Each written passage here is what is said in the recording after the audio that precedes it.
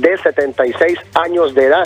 Ella es originaria de la aldea del Marial, ¿verdad? Carretera que conduce de Choluteca hacia San Lorenzo Valle. Eso pues es lo más relevante que se ha suscitado el día de hoy, ¿verdad? Con esta lastimosa noticia donde pues esta madre ha perdido la vida a manos de su propio hijo. Compañero, no sé si tiene alguna pregunta, si no retornamos a estudios principales.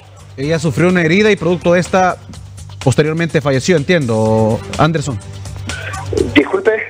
Ella sufrió una herida grave, entiendo. Posteriormente falleció. Sí, ella aparentemente, pues según datos eh, que preguntamos ahí a los vecinos, ella recibió casi una herida en la altura de su cuello, en la altura como llamamos popularmente por la yugular.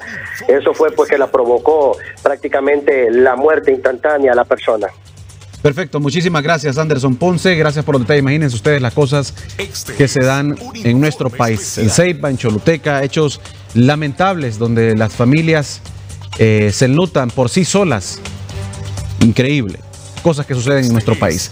Seguimos con más información.